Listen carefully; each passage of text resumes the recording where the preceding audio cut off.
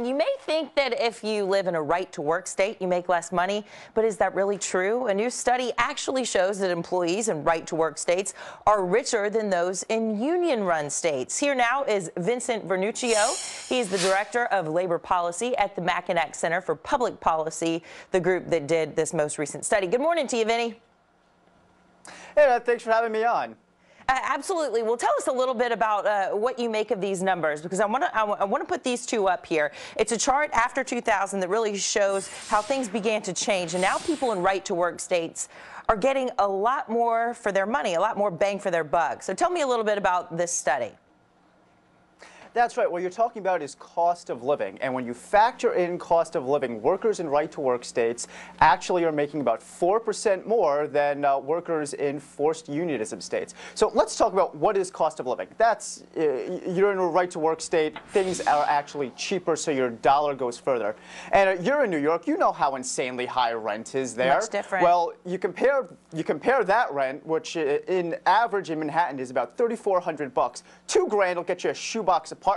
You compare that to uh, mortgage in Alabama, which is about 800 bucks. Now, unions are saying, well, workers in New York are making more than Alabama, so since Alabama's a right-to-work state, that means right-to-work is making less for workers. But the, the dollar goes further in Alabama, Absolutely. so they're actually doing better. And Vinnie, I want to I want our viewers to be able to see this in more visual terms because some people don't understand the shoebox uh, Manhattan mentality. A can of tuna in Michigan costs a dollar and twenty cents versus in Connecticut it's a dollar and 99 cents. So that's a quite a big difference there. Also, a gallon of milk in Michigan is $2.59 versus Connecticut $3.59. I believe. Yeah, here's the graphic here for you. A dozen eggs in Michigan $1.68, Connecticut 2.29. A jar of Tylenol, Michigan 8.72, Connecticut 9.99. Those are some pretty big differences. So uh, how does all this really matter for people who are in unions or, or people who are uh, wanting to be in right to work states? Well, my colleague James Hohman at the Mackinac Center, he crunched these numbers, and the, uh, the findings are really interesting because the unions like to be cheeky. They're always saying, oh, well, it's actually a right to work for less state. And now remember, right to work simply means that a union can't get a worker fired for refusing to financially support them, but that worker can still collectively bargain almost for almost anything else. So it's one of the main points in the union narrative that workers are making less in these right to work states.